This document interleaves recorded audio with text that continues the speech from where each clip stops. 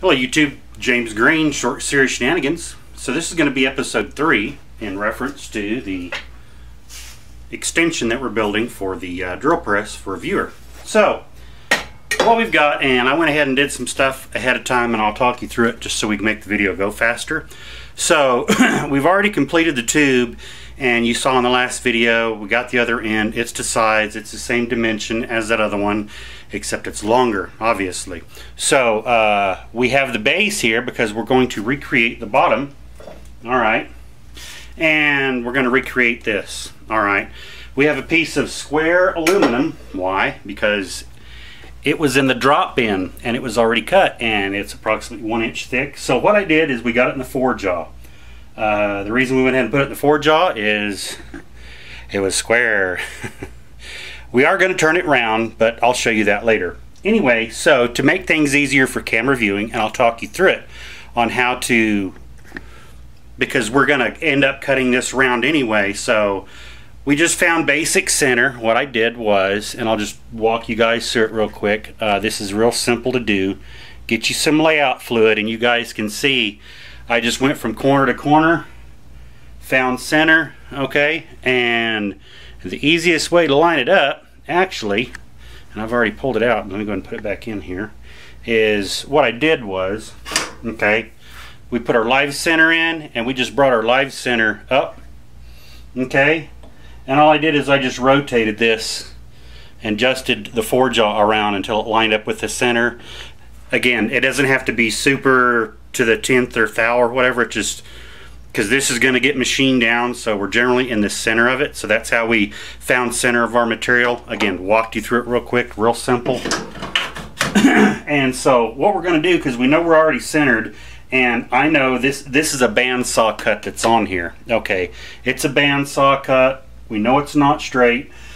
Before we start drilling holes and we end up with interrupted cut let's just go ahead right now. We're going to set up and we're going to face it off. And so the tool that I think I want to use is, let's see, where did I put it? Up here. Okay, we're going to use the same one we were using that had our nice finish on it. And I misspoke in the other one. I said this was like a 322. It's actually a 222. It's a 200 series insert, has a positive rake. And uh, it works really good. Like I said, you can get the tool holder itself.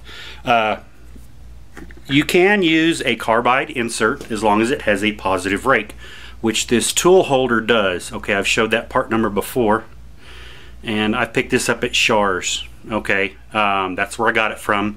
It works great. 222 series inserts. 221, one is sharper, two is rounded, three is even really rounded. So this is a 222 TPG, TPU, something like that uh, insert and it's already got a not only does it have a positive rake because uh, these inserts also get used in a boring bar I have but they also work great I've found out on aluminum there's no coating it's just a regular carbide you guys saw the finish that it put on the piece of pipe um, excellent, excellent, excellent. So I've always had good luck with this as far as using a insert on aluminum. It works great on the non-ferrous metals because again, as long as your tool holder has a positive rake, they work great. So you don't have to necessarily use stainless steel. If you guys want to venture into and invest in a, like one of your first, what I would say is, you know, there's, again, you can get those at Shars. There's a part number. It's a half inch tool bit. The inserts are real common out there. Um, there's a myriad of them. Like I said, whether they have a hole in the middle or not like these do, I have some little spacer and some little flat ones I put up underneath to take up the gap. They work fine. Again, it's a half inch tool if you're just starting out. And this is a BXA tool holder, so uh, it'll work in AXA and 0XA. And especially if you guys have a 7 by lay they're a small bench top like, like my old Grizzly G0602, they work great in that. So that would be a good first investment to start off with as far as some insert tooling.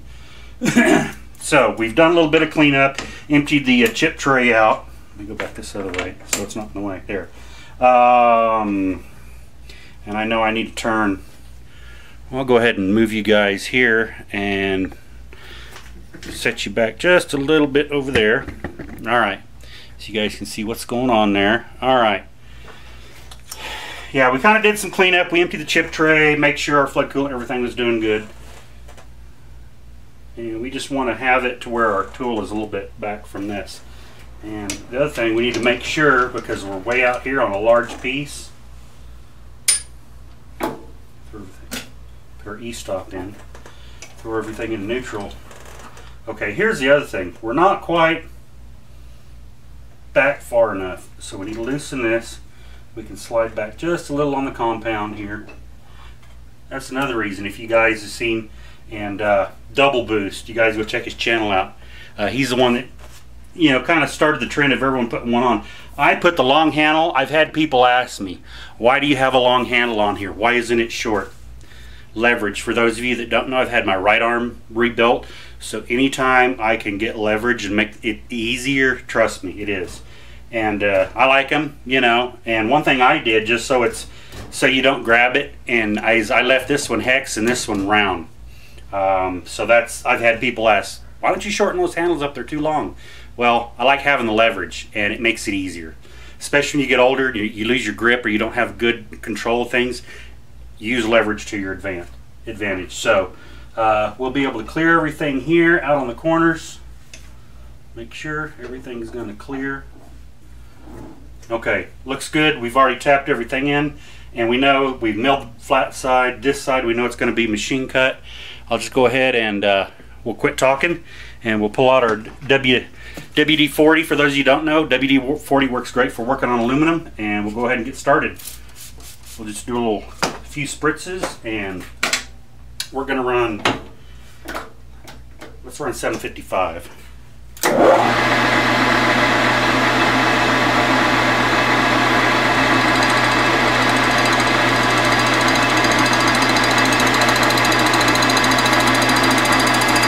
Hand, I'm gonna hand feed this first one in, just so I know kind of where the high spots are, where they disappear. We'll call that zero, actually. Call that zero. And what I like to do on interrupted cuts is I lock the carriage in. We're gonna go ahead and move over just a little bit so you guys can see. Let me zoom in just a little bit. Okay. Whoop. All right.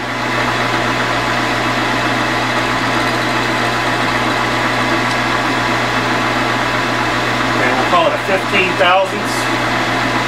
Lock the carriage and feed it across.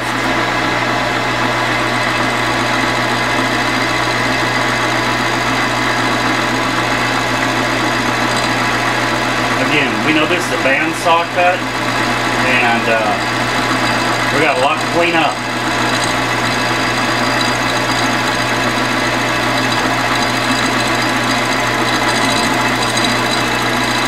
I'll move you down here you guys can get a good view of the, uh, the cut.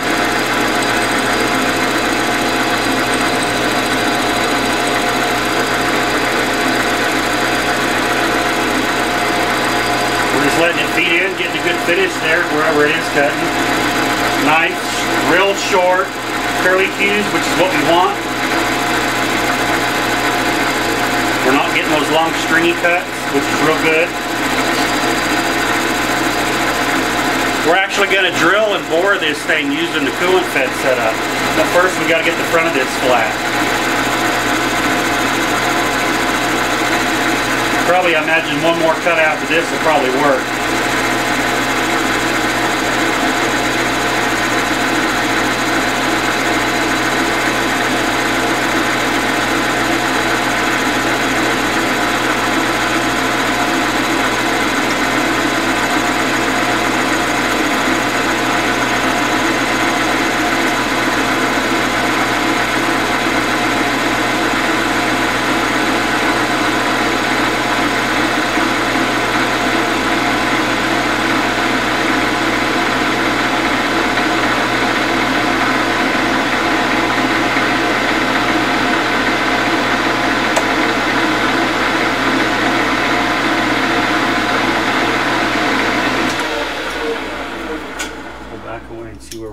you can see how far out.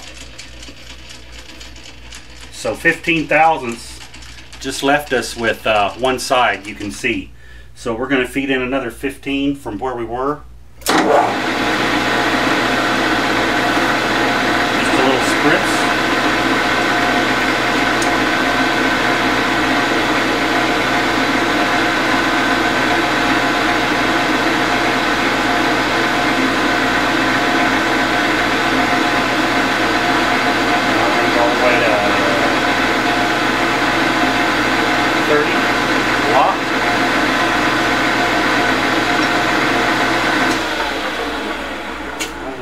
little aluminum.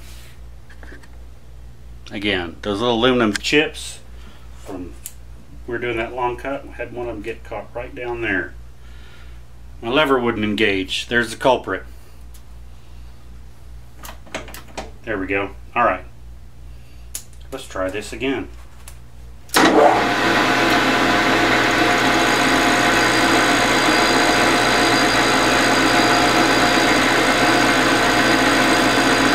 Now we're taking a total of 30 thou off the face there. Leave you guys back at a distance so you can watch back there.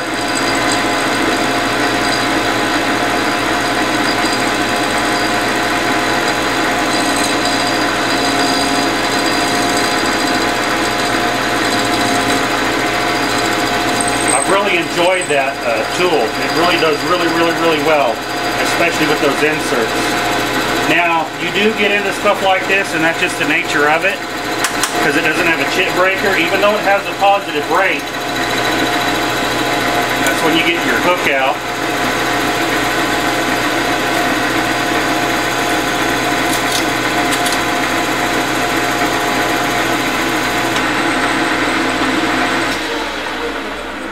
disengage everything, shut her down just so we don't have a mishap. There we go. Get it out. Start it back up and re-engage.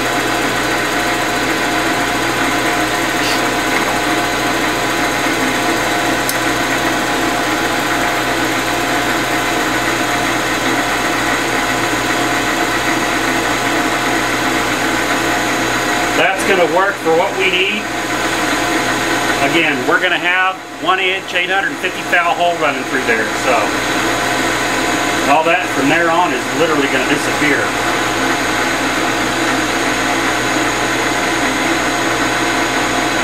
We'll go ahead and take it to center just because.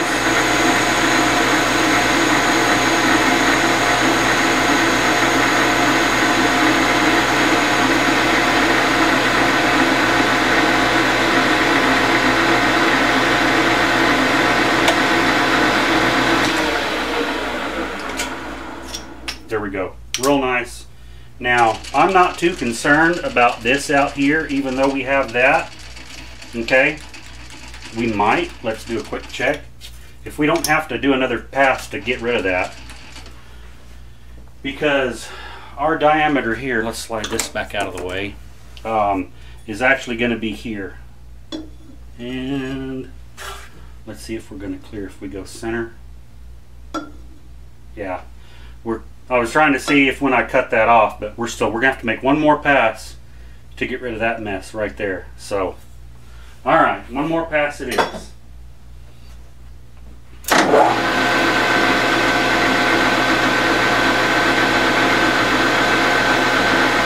We were at 30, now we're gonna go to 45.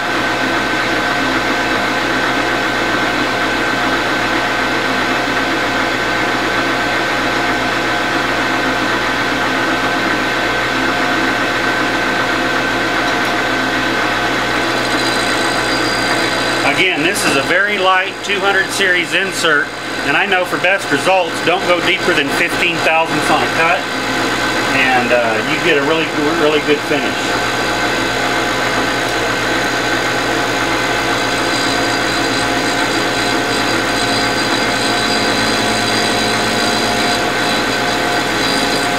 Making real nice small curly cues, you know, not long stringy. And now once we get to the center, where there's no interrupted cut, then you make the long stringy. That, then you have to contend with that.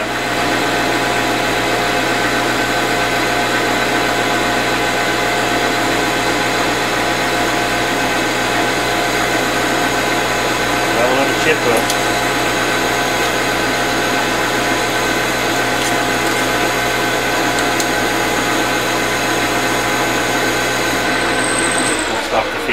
machine stop. I'll come in here just because I know it's bird nesting around the back of this. We'll pull that out. All right. And we actually got rid of what we needed to, so we'll go ahead. This will be the last cut. Yeah, see?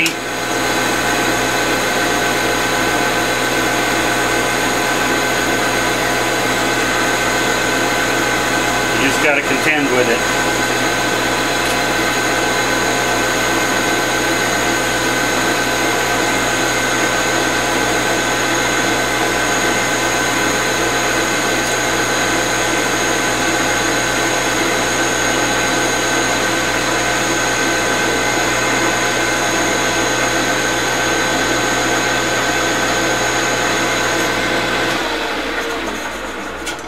We can stop there because all that's going to be dis disappearing. We'll go ahead and pull this stuff out of the way. So there's no sense in going all the way across center because that's going to be all drilled out. We'll go ahead and take this out. We're done with that. Set it out of the way. Do a quick wipe down here. All right. So the next thing we're going to do, we're going to be drilling. We'll go ahead and get us a center drill and we'll try to get as much done here. I'm going to show you guys the setup. Okay, uh, first we're going to center drill and we're going to step up through again because 1 inch 850 thou. Let's see, center drill. Where it is? There it is. Hiding up here. Alright. Got our big center drill, half inch. Got our big number 5 in here. Oh. I hadn't seated the uh, drill chuck in yet. There we go. Alright. And I'm going to show you the setup and we'll drill with the coolant fed setup, but we're going to step it into the project.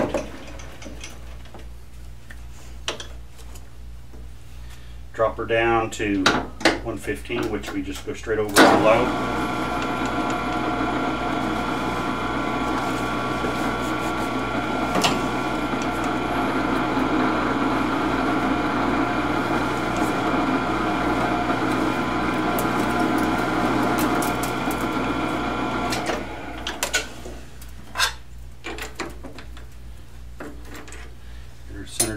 grabbed just a large bit here. This is uh, 15, 30 seconds. Nothing critical. It was just, it was what first thing I grabbed out of the box there.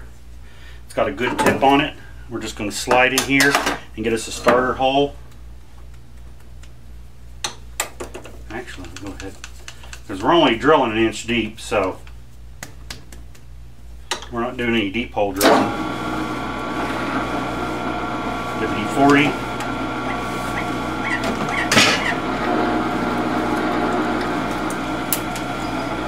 Feeds through real easy.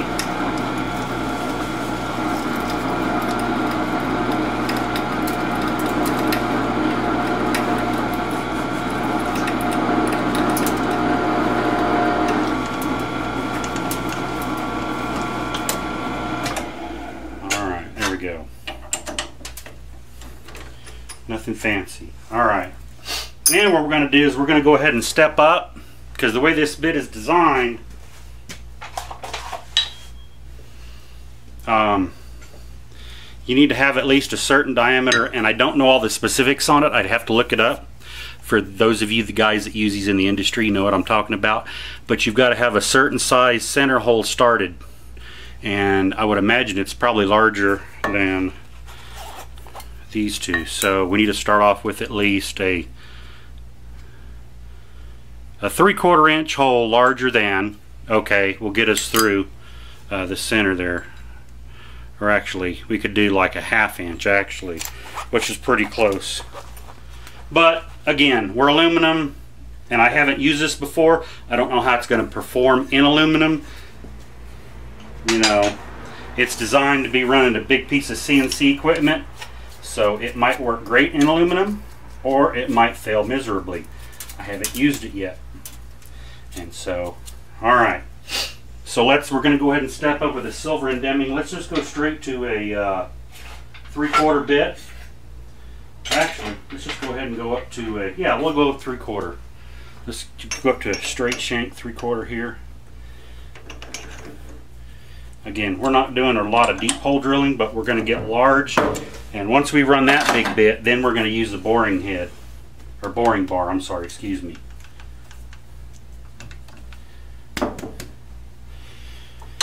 All right. Give you 40.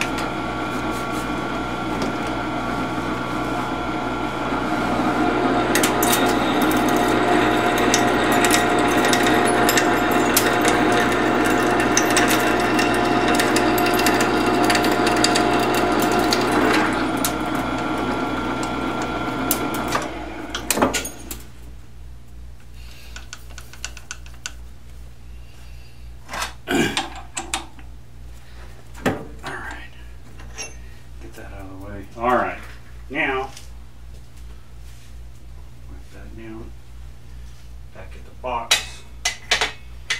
Close the box. Okay. I do not know how this is going to perform, so you guys are going to see it live with me.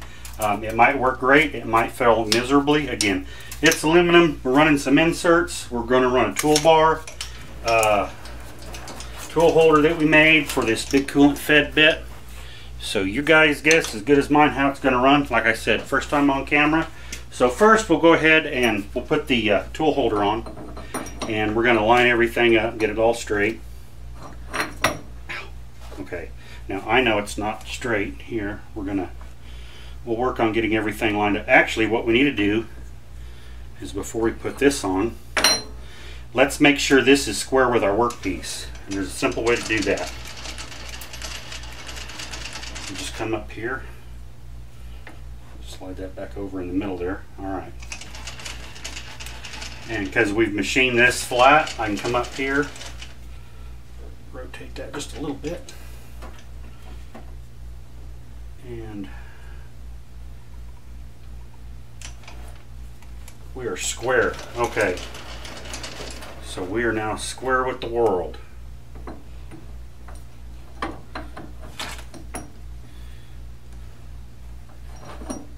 Okay.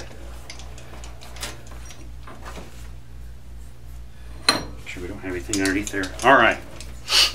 So next thing we're going to do, um, on this bit, uh, because you can actually use it as a boring bar, you can use, and we might do that depending on how well it performs and just use this to get our hole out to size, but we're going to have this side toward us. Okay, and back even more here. lock that down for right now. Now we've got to tighten these in.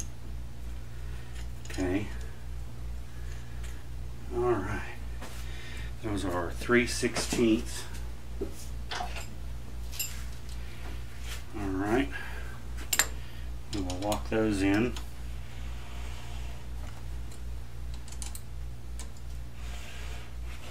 Actually, we might do this in, in the other video. I don't know if we have enough time to get this done, but we'll get it set up in this one. I'll show you the setup for it. Okay, we're in. The next thing, we've got our coolant hose here. Again, this is actually designed to have, you know, a lot of coolant through it. And the through hole in here is only 3 eighths, or correction, uh, quarter inch. So we don't need torrents of flood coolant, but we are going to, again, we're just, I want to see how it works. And before I go, this was the first thing I had that popped up that was a practical application of what I had going on. And we just slide this on here. So figured might as well, let's see. And I don't expect great results since it is aluminum, but I just do want to see you know, it might fail miserably and we may have to switch back over to, uh, there we go, to a high-speed steel and do it the old-fashioned way. So, uh, but it was a chance to let's see how this performs. So, uh, let's do a coolant check real quick with the pump. Make sure we got flood coolant. We got flood coolant. All right. One of the other things we need to do is we need to get our tool height. Because we got to be, and this isn't super critical because we're going to create our own dimension or whatever even after this, but we do got to get our correct tool height. So one way you can do it is, and I, I had to think about this, about how to figure the tool height to get this set up. Let me go ahead and, it's going to involve again, there's a different way to do things. Different tool. Let's put our tailstock center in. And let's figure so that we know how could we do this. There's always a different way to do things. So our height, we know. Let's get us a, we're gonna need a piece. It's gonna be need six inches work. Yeah, six inches will work. I need a parallel. Okay. Actually, I ground one out the other day. We'll use it. Let me grab it real quick.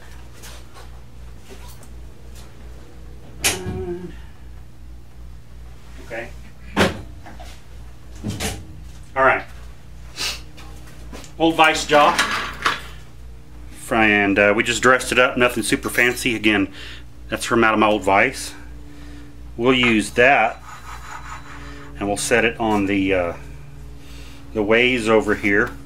So what we'll do is we'll use that to measure our height to our center is four inch.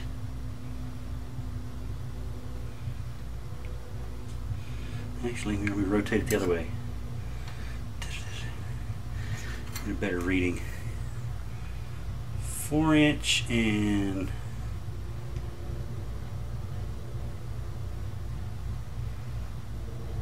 thirty and I'm looking on the 64 so four inch and 32 64s. Four inch 32 64s.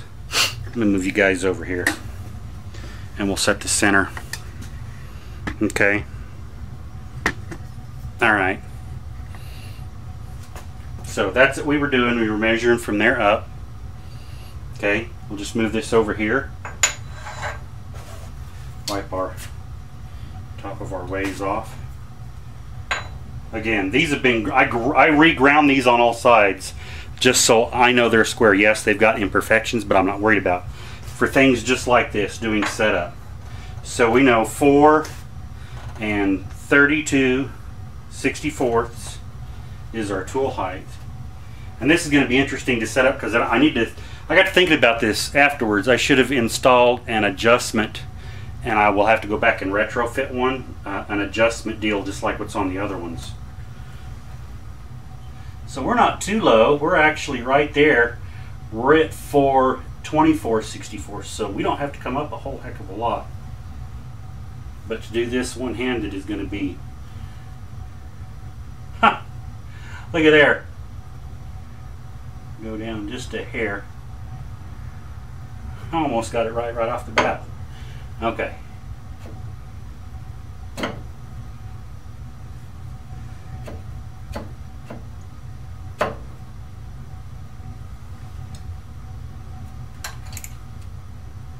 32 64ths. Boom, right there. And that's with the flat. So we'll call that, that's our tool height. That's all for this video. Thank you to All Industrial Tool Supply for being our channel sponsor. You guys go and check them out, www.allindustrial.com. And we're to have video number four. We're to set up and we're to drill through this. We'll see how it works take care of yourself and take care of your family because remember, at the end of the day, you and your family is all you got. Until next time, get out in the garage and make some chips. This stuff is fun. See you in a bit. Bye-bye.